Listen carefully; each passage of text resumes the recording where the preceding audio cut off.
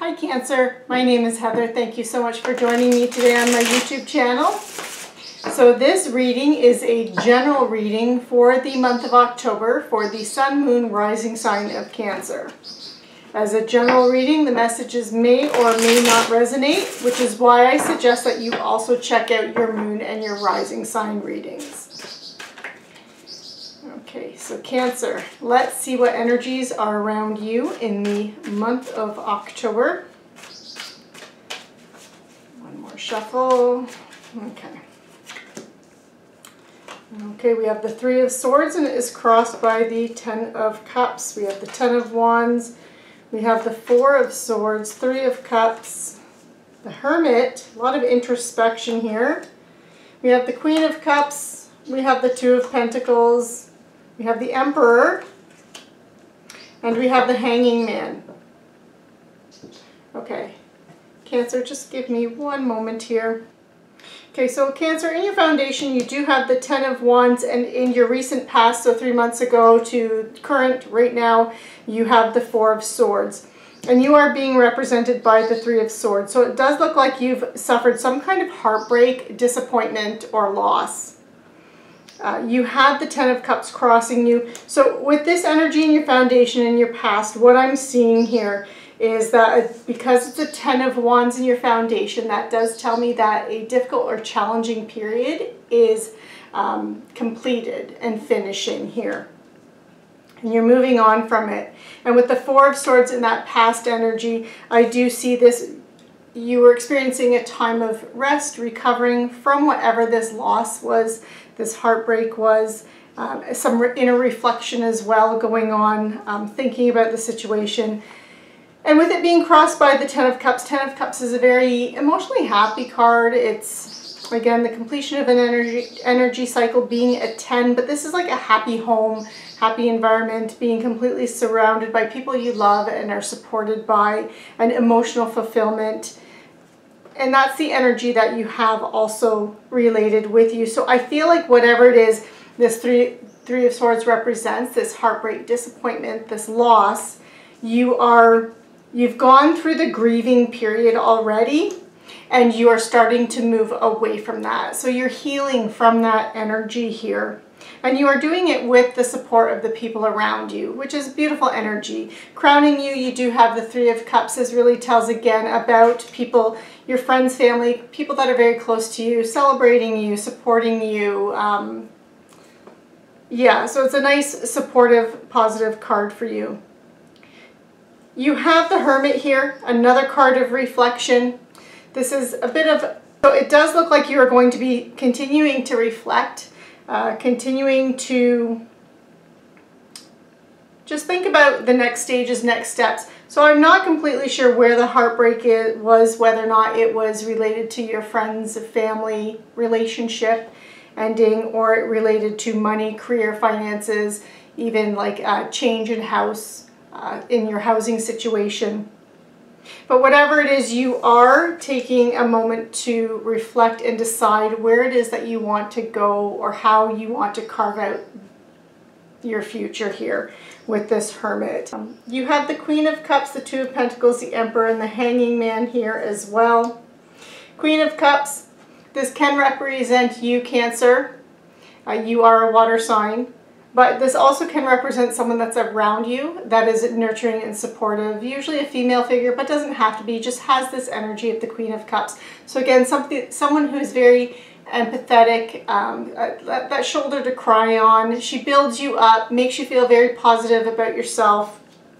That kind of energy, very nurturing, mothering energy here. You have the Two of Pentacles here in, the, in, in your environment, so what's surrounding you. So it does look like you're going to be juggling a lot of things. You're going to have to make some kind of a decision or choice on which project or which thing you're doing that you want to put more effort and energy into. Because I do feel like there is this about, you have the Emperor here in your hopes and fears. And so it's it's looking like with this being in the in the position of a fear, what you're hoping for is that you're taking control and can take taking control of your life and taking control of the situation here. And what you fear is that you're not going to have that, that you're not making good choices. And so this is why I'm getting this sense that in your environment with the Two of Pentacles that you're going to choose um, like you see in this card here, he's juggling the two pentacles. So these are like two different projects that are on the go. Um, perhaps you're working two jobs. Perhaps you're trying to juggle home, uh, family, along with your career. So you're trying to, this, there's this balancing act that's going on here with this.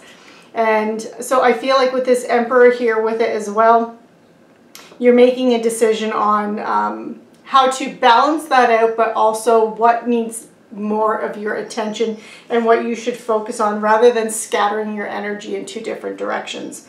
That's what I'm trying to get out.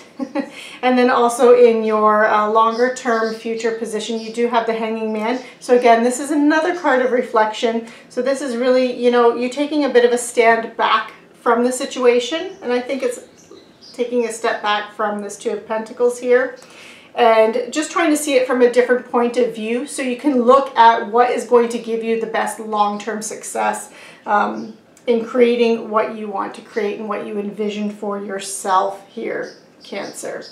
Okay, so Cancer, I'm going to pull an Archangel Power Tarot card for any final messages from Spirit.